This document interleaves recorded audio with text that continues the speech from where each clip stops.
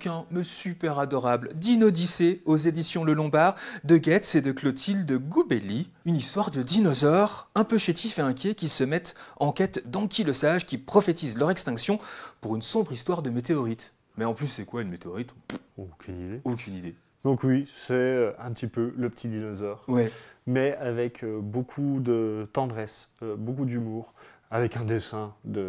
De Clotilde Oh Goubelli. là, qu'est-ce qu'il est mignon, Ah oui. plein de couleurs, très riche, il y a des feuilles dans tous les coins, euh, c'est vraiment très vivant, une attitude des personnages à la fois à la limite de l'absurde et en même temps, c'est très documenté, hein, la Gaët, ça fait son boulot.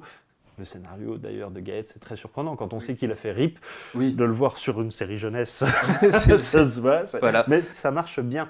Et c'est une très chouette série jeunesse. Même si on n'aime pas les dinosaures, ça marche parce que les persos sont super attachants. C'est de l'aventure. Il y a plein, il y a plein de rebondissements. Le dessin est fantastique, plein de couleurs. Il y a une, tyranno- il y a une tyrannie. Euh, La tyrannosaure s'appelle Tyrannie. C'est Oui. trop mignon. Voilà, c'est un bouquin mignon. Oui. Voilà. À partir de une- 6 ans, c'est super. C'est une quête euh, comme ça de 5 dinosaures avec une illustratrice quand même très prometteuse, un Ah. dessin fabuleux. Toute nouvelle, cette illustratrice, truffée de détails, de couleurs incroyables, comme tu disais, euh, contrastant avec l'univers habituel et terrorisant du Jurassique finalement. Là, on est vraiment sur du mignon mignon. Et cette BD, c'est une BD qui rend la lecture très sympa le soir avec Ouais. ses enfants. Vraiment, c'est à lire. Ça s'appelle donc Dino aux éditions Le Lombard. C'est de Goetz et de Clotilde Goubelli.